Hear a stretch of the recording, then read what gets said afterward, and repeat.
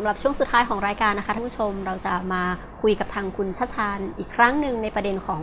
การบำบัดน้ำเสียในโรงงานโดยโครงการ ITAP นะคะค่ะคุณชัชชาญทราบว่าอยากจะลงในรายละเอียดในเรื่องของการบำบัดน้ำเสียที่เป็นปัญหากว่า 20 ปีนะคะโดยการที่เอ่อทำงานร่วมกับผู้เชี่ยวชาญจากมหาวิทยาลัยแม่โจ้ค่ะครับคือเอ่อเท่าที่เคยศึกษามาเนี่ยการบำบัดน้ำเสียจากน้ำเกลือเนี่ยมันเป็นเรื่องยุ่งยากและลงทุนสูงมากนะฮะค่ะเรื่องไม่ว่าจะเรื่องไฟฟ้าหรือเรื่องใดๆเนี่ย ปรากฏว่าอาจารย์ใช้จุลินทรีย์มาช่วยเนี่ยมันเป็นเรื่องที่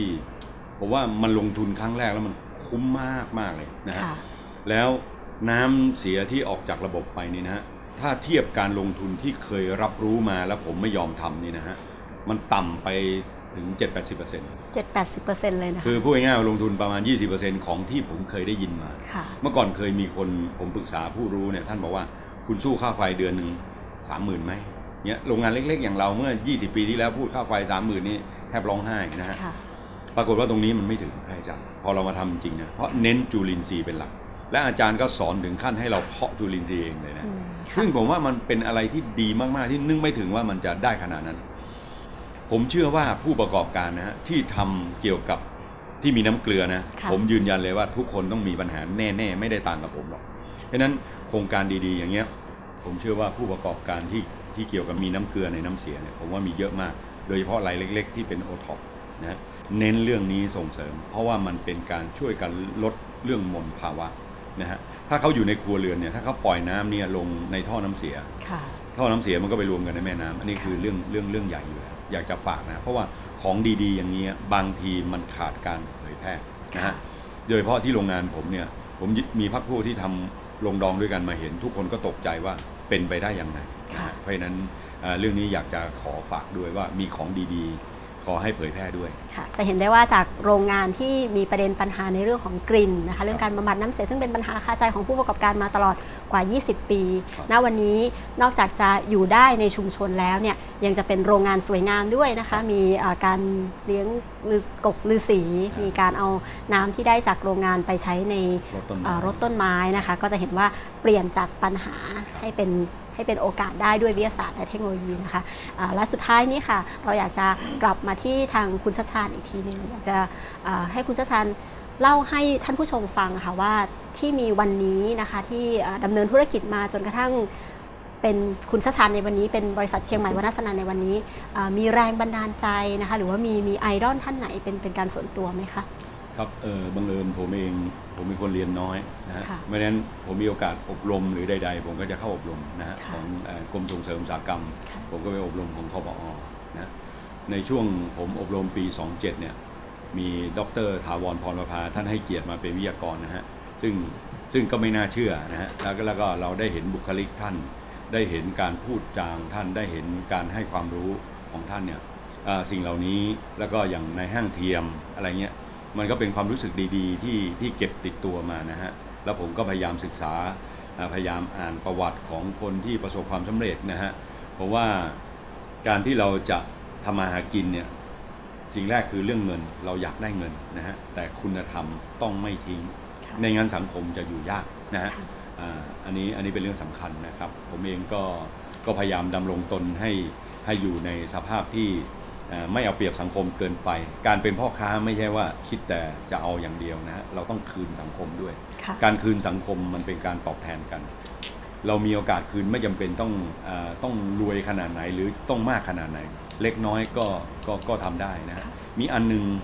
ผมอ่าดีใจมากในช่วงน้ำท่วมกรุงเทพค่ะนะฮะผมมีโอกาสเอาความรู้จากวิทยาศาสตร์ ผมสามารถทำข้าวอยู่ในกอกกระป๋องได้ค่ะผมสามารถทำแกงฮังฮังเล ซึ่งเป็นหมูอยู่ในซองรีทอร์ดพาวช์ค่ะได้ ผมก็ให้ในขณะที่ผมไปทำอาหารแจกอยู่ที่ลบบุรีเนี่ยนะฮะค่ะ ผมก็ปิ๊งไอเดียขึ้นมาในขณะทำกับข้าว ก็โทรกลับมาโรงงานบอกลูกน้องว่า เฮ้ย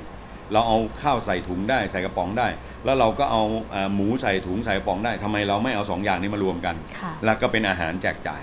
เนี่ยลูกน้องเขาก็แสนดีเลยก็ทำให้นะฮะ ก็ได้เมนูข้าวเหนียว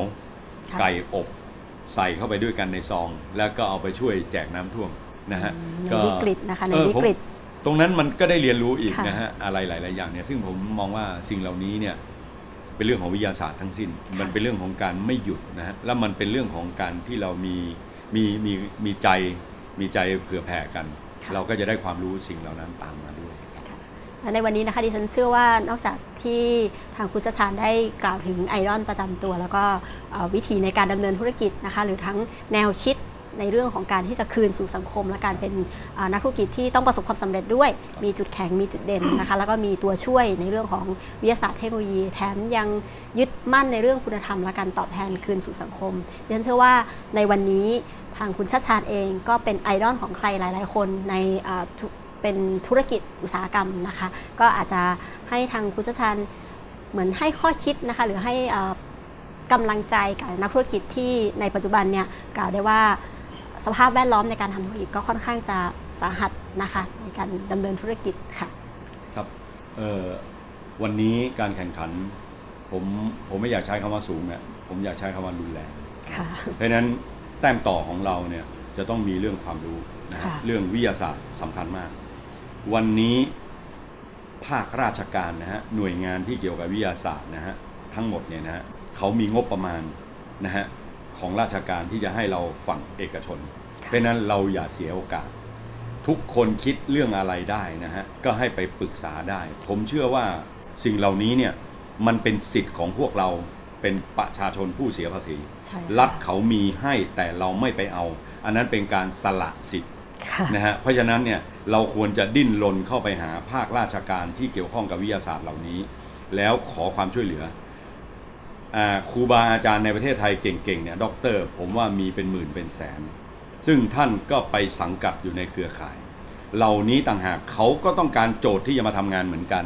ความรู้ที่เขาเรียนมาเขาก็อยากจะมาสู่ภาคปฏิบัติเหมือนกันค่ะเขาก็อยากจะเจอเคสแบบพวกเราเหมือนกัน ทีนี้ถ้าเราเป็นภาคประชาชนเราทิ้งสิทธิ์เหล่านี้นะก็ไม่ได้เกิดประโยชน์ทั้งสองฝ่าย วันนี้น่าจะเดินเข้าไปขอ วันนี้กับเมื่อ 10-20 ปีที่แล้วคนละเรื่อง วันนี้เนี่ยงบประมาณเหล่านี้พร้อมที่จะเทลงมาสู่ภาคประชาชนนะฮะดังนั้นความเป็นผู้ประกอบการนะฮะอย่าลืมใช้สิทธิ์ตรงนี้ เพราะวิทยาศาสตร์นะฮะนวัตกรรมจะทำให้ธุรกิจเรายั่งยืน เพราะฉะนั้นเนี่ยตรงนี้ถ้าเราไม่ไปใช้มันก็ศูนย์เปล่าสำหรับเรานะฮะต้องไปช่วยกันใช้นะฮะการไปช่วยกันใช้อย่ามองเป็นเรื่องรบกวนนะฮะ เป็นเรื่องหน้าที่ของเขาที่ต้องให้เราค่ะและครูบาอาจารย์ที่เรียนสูงสูงๆมาท่านก็มีหน้าที่ที่จะช่วยเราเหมือนกันนะฮะตอนนี้เท่าที่ผมทราบจากการที่ได้มีโอกาสสัมผัสกับ i t a b ผมทราบมาว่ามีอาจารย์ที่เข้าไปสังกัดที่จะพร้อมจะให้ความรู้แต่ละแขนงเยอะแยะมากมายเลยนะฮะค่ะทั่วประเทศไทยนะครับ ถ้าเป็นเชียงใหม่ ถ้าใครไม่อ่า ไม่ไม่กล้าหรือข้องใจหรือใด ๆ เข้าไปที่สภาอุตสาหกรรมก็ได้ค่ะนะฮะอะอย่างเงี้ยหน่วยงานภาคเอกชนก็พร้อมจะเป็นอ่าเป็นพันธมิตรอยู่แล้วนะฮะแล้วก็ค่ะพร้อมที่จะเป็นตัวเชื่อมให้ค่ะอย่างสภาอุตสาหกรรมเราก็มีอาดิสนะฮะค่ะก็เป็นศูนย์อ่าวิจัยอะไรของเราเหมือนกันเพราะฉะนั้นถ้าเป็นระดับชาวบ้านเนี่ยอยากรู้อยากได้อยากเห็นเนี่ยก็มาคุยกับฝั่งเราฝั่งสภาอุตสาหกรรม ซึ่งเป็นองค์กรเอกชน แล้วเข้าไปสู่อ่าสวทช อันนี้ก็ได้นะฮะเพราะเราก็รู้ว่าอาจารย์ใด ๆ ในเชียงใหม่ ในภาคเหนือที่มีความรู้เกี่ยวกับเรื่องอะไรนะฮะค่ะอย่างนี้เป็นต้นเพราะฉะนั้นทั่วประเทศไทยนะฮะพวกเราคนไทยใช้สิทธิ์ตรงนี้กันนะครับ เพื่อธุรกิจที่ยั่งยืนของเรานะฮะอย่าลืมนะฮะวิทยาศาสตร์ นวัตกรรมจะนำให้ธุรกิจเรายั่งยืนครับค่ะในวันนี้นะคะท่านผู้ชมคะอ่าสิ่งที่เราได้รู้นะคะจากทางการประกอบธุรกิจจากอ่าผู้ประกอบการรายสำคัญของทางภาคเหนือเนี่ยก็จะเห็นได้ว่านอกจากที่จะเป็นผู้ประกอบการที่ดำเนินธุรกิจ ทางด้านเป็นสินค้าพื้นเมืองนะคะ ซึ่งกล่าวได้ว่าเป็นสินค้าวัฒนธรรมพื้นฐานนะคะโดยเฉพาะอย่างยิ่งในเรื่องของอุตสาหกรรมอาหาร ซึ่งดูดูแล้วเนี่ยเสมือนจะเป็นจุดที่เปลี่ยนแปลงได้ไม่มากนัก ท่านนี้นะคะ คุณชัดชาญได้เป็นตัวอย่างที่ทำให้เราเห็นได้ว่า สามารถทำได้ทุกสิ่งอย่างสามารถทำได้แล้วก็เป็นท่านที่ได้นำเอา กลไกต่างๆ ของการสนับสนุนของภาครัฐนะคะ โดยเฉพาะอย่างยิ่งทางวิทยาศาสตร์เทคโนโลยีเนี่ยไปปรับปรุงกระบวนการผลิตพัฒนาผลิตภัณฑ์ใหม่นะคะ จน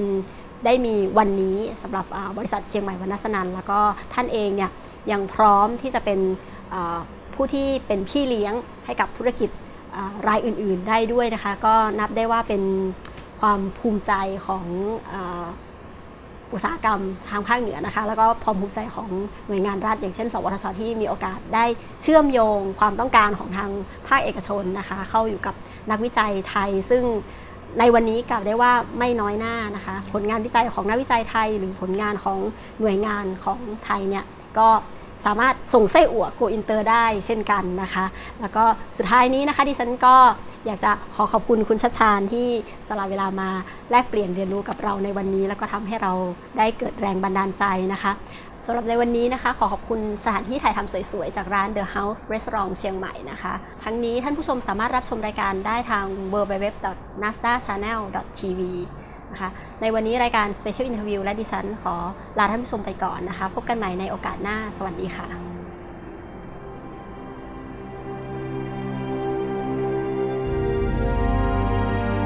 วันนี้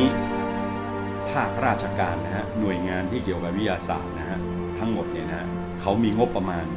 นะฮะของราชการที่จะให้เราฝั่งเอกชนเพราะฉะนั้นเราอย่าเสียโอกาส ทุกคนคิดเรื่องอะไรได้นะฮะก็ให้ไปปรึกษาได้ผมทราบมาว่ามีอาจารย์ที่เข้าไปสังกัด ที่จะพร้อมจะให้ความรู้แต่ละแขนงเยอะแยะมากมายเลยนะฮะค่ะ ทั่วประเทศไทยครูบาอาจารย์ในประเทศไทยเก่งๆเนี่ยด็อกเตอร์ ผมว่ามีเป็นหมื่นเป็นแสน ซึ่งท่านก็ไปสังกัดอยู่ในเครือข่าย เหล่านี้ต่างหากเขาก็ต้องการโจทย์ที่จะมาทำงานเหมือนกัน ความรู้ที่เขาเรียนมาเขาก็อยากจะมาสู่ภาคปฏิบัติเหมือนกัน ค่ะ ทั่วประเทศไทยนะฮะ พวกเราคนไทยใช้สิทธิ์ตรงนี้กันนะครับ เพื่อ ธุรกิจที่ยั่งยืนของเรานะฮะอย่าลืมนะฮะวิทยาศาสตร์ นวัตกรรมจะนำให้ธุรกิจเรายั่งยืนครับ การเป็นพ่อค้าไม่ใช่ว่าคิดแต่จะเอาอย่างเดียวนะฮะเราต้องคืนสังคมด้วยค่ะการคืนสังคมมันเป็นการตอบแทนกัน การที่เราจะทำมาหากินเนี่ยสิ่งแรกคือเรื่องเงินเราอยากได้เงินนะฮะแต่คุณธรรมต้องไม่ทิ้ง ในงานสังคมจะอยู่ยาก